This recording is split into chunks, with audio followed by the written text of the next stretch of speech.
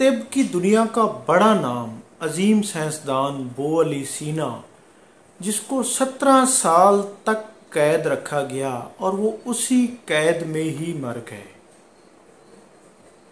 अच्छा उससे आगे आए तो अलकुंदी बारह साल कैद में रहे, उसके हाथ पाँव तोड़ दिए गए थे, वो फिर सारी ज़िंदगी मौजूर रहे और उसी मौजूरी में ही वो मर गए।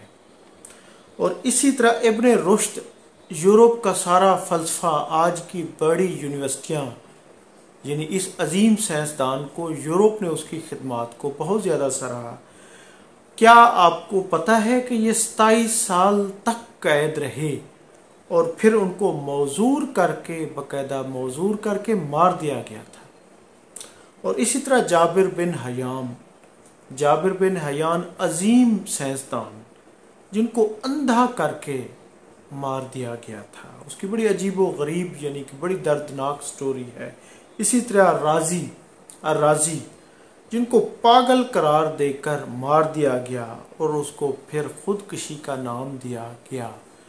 नाजरीन मोसनू साइंसदानों या कुछ अच्छा करने वालों की तारीख ऐसे वाक़ात से भर, भरी पड़ी है। और फिर आज के दौर में, ये तो चलो यानी हज़ारों साल पुरानी बातें हैं, इन लोगों को यानी कि एक रांधा दरगाह बनाया गया। ये इंसानियत के मौसम थे। तो अब आज के दौर में डॉक्टर अब्दुल कदीर खान का क्या हुआ था? कि वो भी तो एटम बम बनाने के जुर्म में यहाँ पर कैद रहे, माफ़ी, टीवी पर आकर माफ़ी मंगवाई गई, और कैद में ही उनकी यानी कि डेथ हुई थी। हालाँकि वो बीमार भी थे, लाचार भी थे, फरियादें भी करते रहे तो उसका इंजाम भी सामने है। इसी तरह भारत ने यानी डॉक्टर अब्दुल कलाम को अपना सदर बनाया। तो हमारे यहाँ डॉक्टर अब्दुल कदीर खान बेचारे हसरत में ही रहे। नाजिन तारीख अपने आप को दोहरा रही है और आज तक, यानी ये अब्द से लेकर अज़ल तक, यानी कि शुरू से लेकर आज तक ये सिलसिला जारी और सारी है और ये एंड तक यही रहेगा।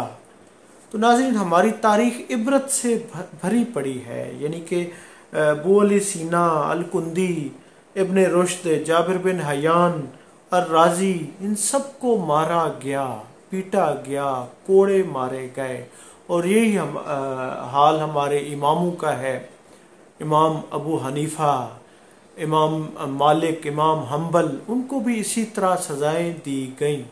तो नाजरीन, हक बात या सच बात या यानी सच्चाई की राह कुर्बानी मांगती है।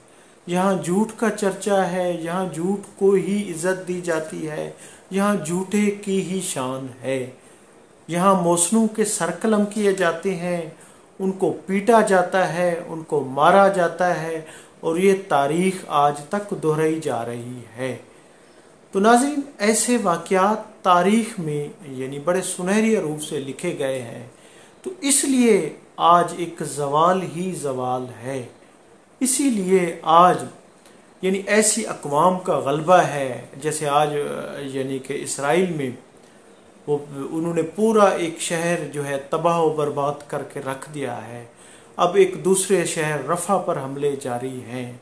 दुनिया साकित है, जामिद है, किसी को कोई परवाह नहीं कि क्या हो रहा है। इंसान कट रहे हैं, मर रहे हैं, इंसानियत ससक रही है, सच्चाई दम तोड़ रही है और आज हैवानियत का बोल बाला है। नाजरीन, मैं हूँ अब्दुल रूफ़ी और आप देख रहे थे तारीख नामा और तारीख ऐसे वाक़ात से भरी पड़ी है। बहुत शुक्रिया। थैंक यू अल्लाह हाफिज़।